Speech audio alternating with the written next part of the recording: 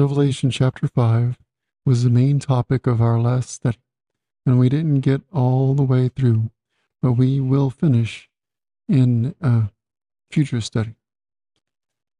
In this lesson, we will be doing some repeat and enlarge on the topic of the Messiah, Messiah's family tree, or the root of David, and Christ as the second Adam. As we've already uh, covered in previous lessons, Adam lost kingship or dominion to Satan. Christ came as the second Adam to redeem man because there was no el- no one else on earth or in heaven who could do it. Without Christ, we were or are doomed. But now there's hope. Let's start with Revelation chapter 8, verses 1 to 4. There is therefore now no condemnation to them which are in Christ Jesus, who walk not after the flesh, but after the Spirit. For the law of the Spirit of life in Christ Jesus hath made me free from the law of sin and death. For what the law could not do, in that it was weak through the flesh, God sending his own Son in the likeness of sinful flesh, and for sin, condemned sin in the flesh, that the righteousness of the law might be fulfilled in us, who walk not after the flesh, but after the Spirit. Romans 8 1 to 4.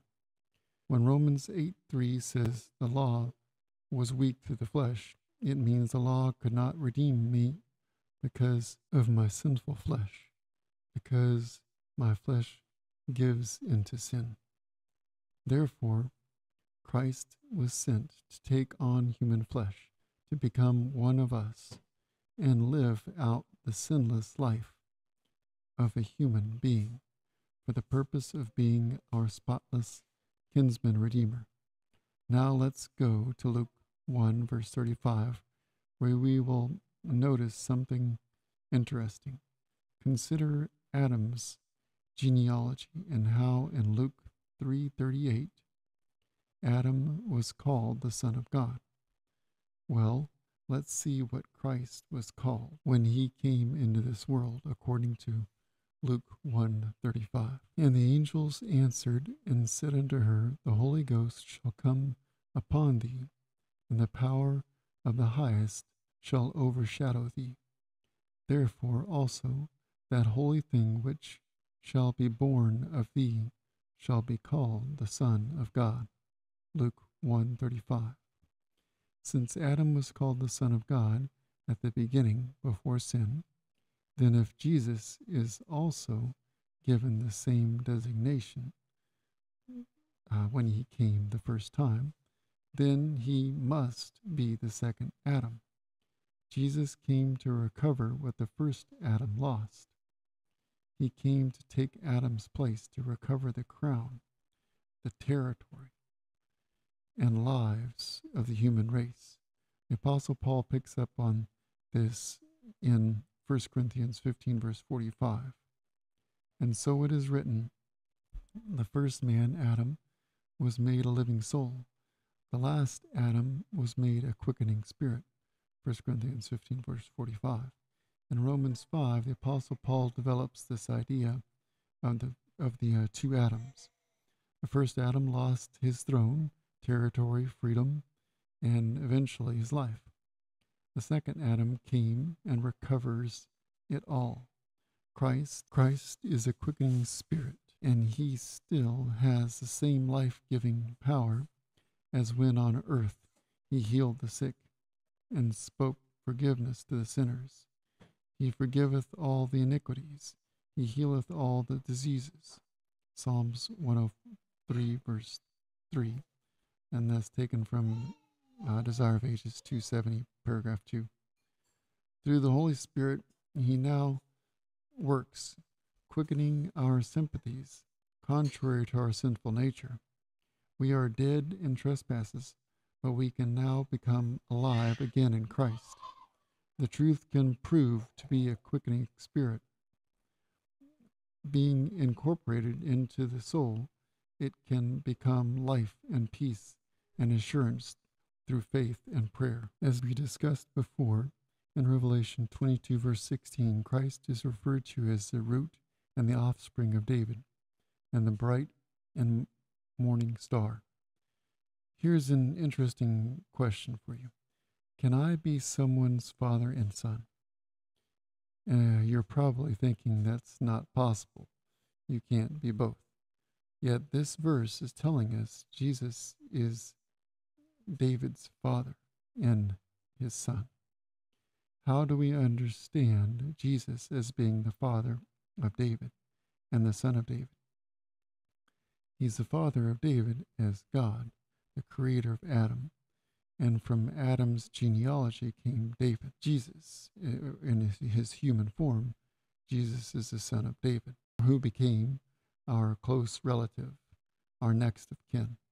So this shows that Jesus is God and he is also man. In Genesis, we have the story of Jacob's ladder, which should really be called the Lord's ladder, as Genesis 28, verses 10 to 19.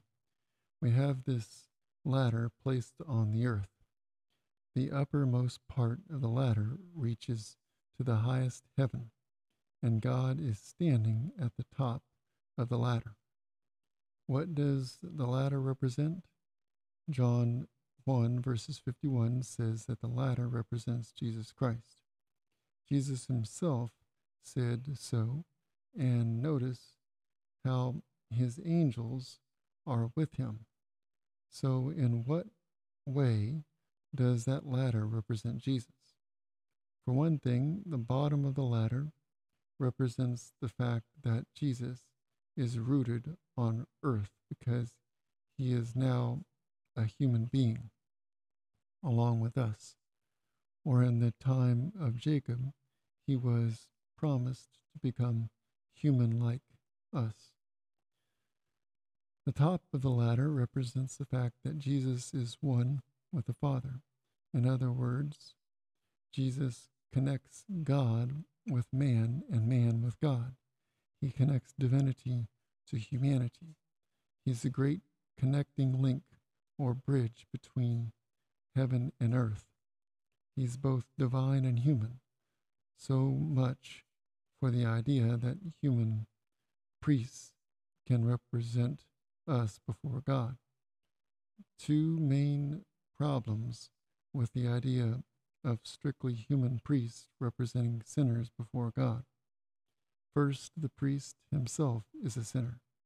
Imagine a sinner goes before God and says, I'm here to rep- represent a sinner. God will say, Well, you're a sinner too. Secondly, a priest is only human. But in order to be a priest in the strictest sense of the word, you must be divine. Notice that this is not a reference to the symbolic Old Testament priests who were representing Christ because they were only symbols of Christ. We're talking about a real priest who can represent us before God and deal with the disease of sin, a priest who is called Father. The Bible tells us clearly that one is your Father, which is in heaven, Matthew 23, verse 9. The book of generation of Jesus Christ, the Son of David, the Son of Abraham, Matthew 1 1. We know Jesus was the son of David, but was he the son of Abraham too? The answer is most certainly yes. Let's look at John chapter 8, verses 58. Jesus said unto them, Verily, verily, I say unto you, before Abraham was, I am. John 8, 58. This seems like a reversal of Matthew 1 1. So Jesus is the father of Abraham and the son of Abraham. He's the father of Abraham because he is God, and he is the son of Abraham because he is man. Could this be another way of looking at Revelation 1 8? The beginning, Alpha, and the end, Omega? Next, let's look at Galatians 4, verses 4 and 5. Here we find a description of the relationship between the Father, Jesus, and us. Remember, we cannot come into the presence of God alone because we are sinners.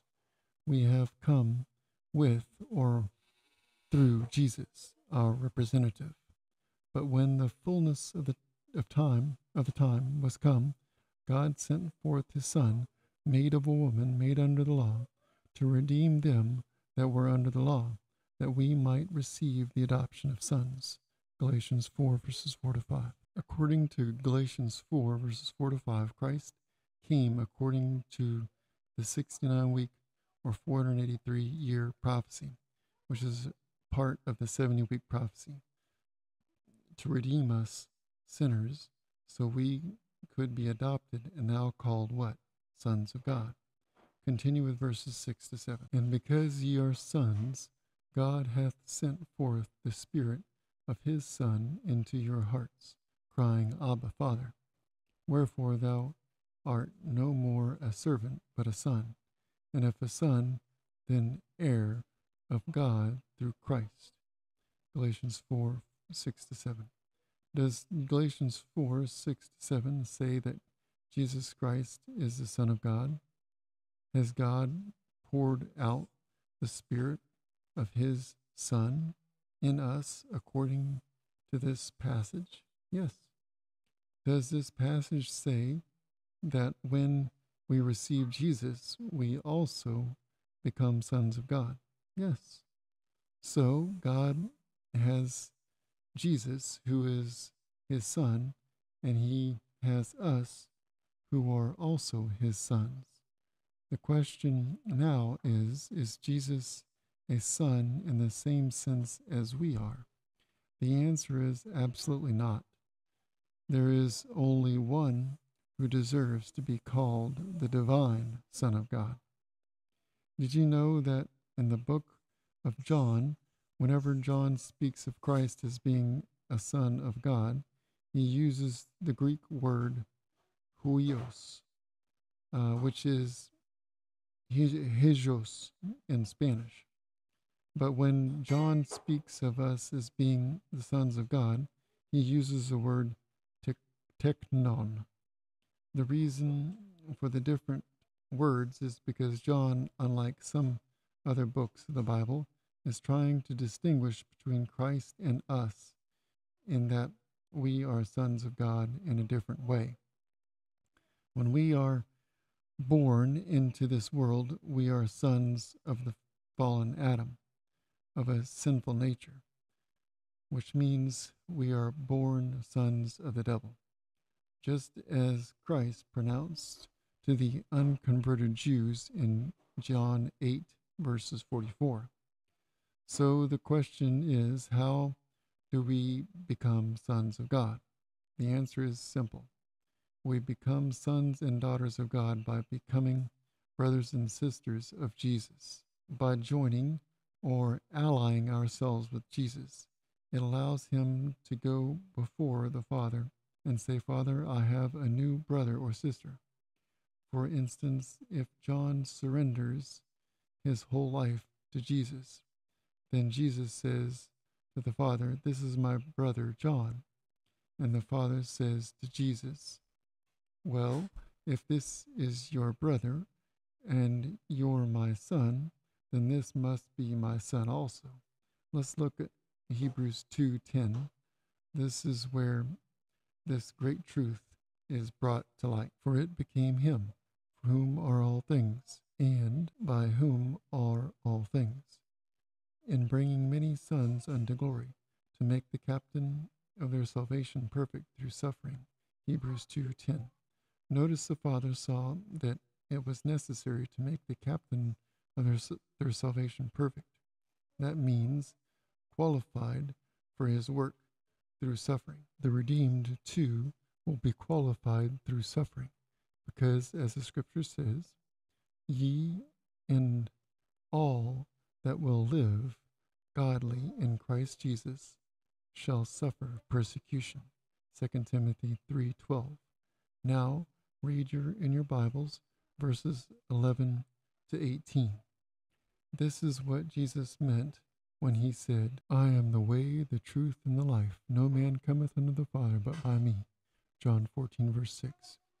Now read Romans 8, verse 29, and notice that the Father wanted all who come to Jesus to be conformed to the image of his Son, so we can be his brethren.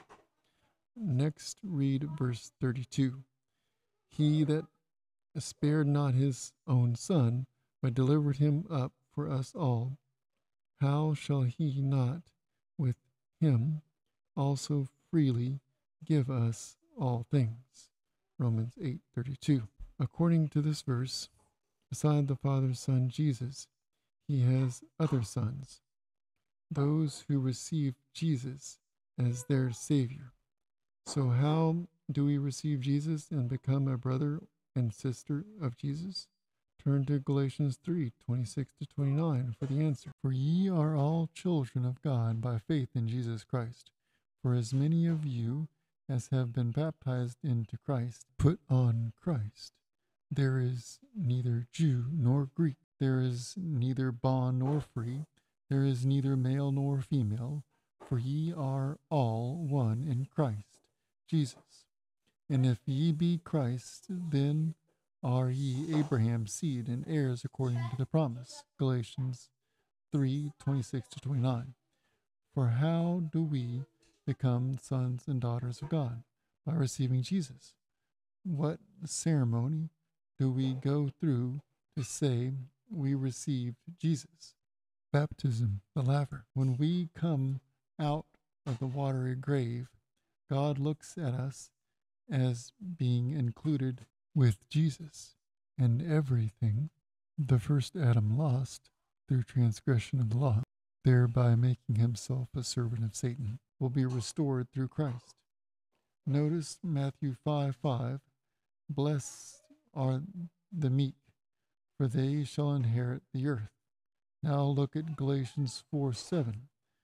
Wherefore thou art no more a servant, but a son, and if a son, then an heir of God through Christ. The real Israel of God is a remnant according to the election of grace. Romans 11:5. In Romans 11:17 to 24, Paul speaks of the olive tree that represents Israel. The branches, Jews, were broken off because of unbelief, and the wild olive shoots, Gentiles, were grafted in to share in the nourishment of the tree.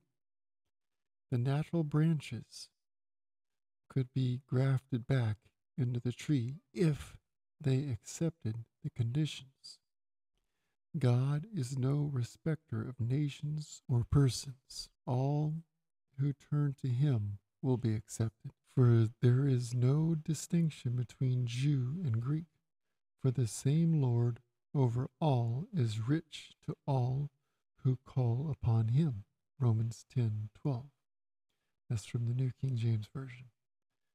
For ye are all the children of God by faith in Christ Jesus. Galatians 3:26. I am the vine, you are the branches.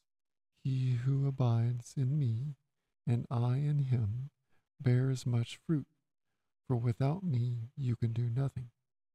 If anyone does not abide in me, he is cast out as a branch and is withered, and they gather them and throw them into the fire, and they are burned.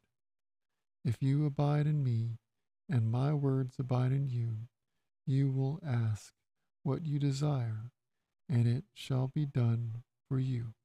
John 15, verses 5 to 7. The new Israel inherits God's covenant promises. Those who have accepted Christ become the chosen people, a royal priesthood, a holy nation, a people belonging to God. Let's compare 1 Peter 2, verses 9 to 10, with Exodus 19, verses 5 to 6. But ye are a chosen generation, a royal priesthood, a holy nation, a peculiar people, that ye should show forth the praises of him who hath called you out of darkness into his marvelous light, which in time past were not a people, but are now the people of God, which had not obtained mercy, but now have obtained mercy. 1 Peter 2 9 to 10. Now, therefore, if ye will obey my voice indeed and keep my commandments, then ye shall be, future tense, a peculiar treasure unto me above all people. For all the earth is mine, and ye shall be unto me a kingdom of priests and holy nation. These are the words which thou shalt speak unto the children of Israel. Exodus 19, verses 5 to 6.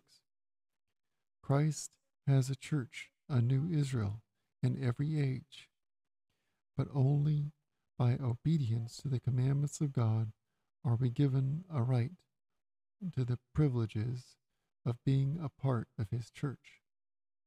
The human race is in desperate need of redemption. God yearns to forgive and cleanse. Note John 3:16 and 1 Timothy 2:4. It is the role of the church to carry this news to the world. Have you chosen to be a part of it? Let's close with the following quote from the Pen of Inspiration God has a church. It is not the great cathedral, neither is it the national establishment neither is it the various denominations. It is the people who love God and keep his commandments. Where two or three are gathered together in my name, there am I in the midst of them. Matthew 18, verse 20. Where Christ is, even among the humble few, this is Christ's church. For the presence of the High and Holy One who inhabiteth eternity can alone constitute a church. Ellen White, Upward Look, page 315.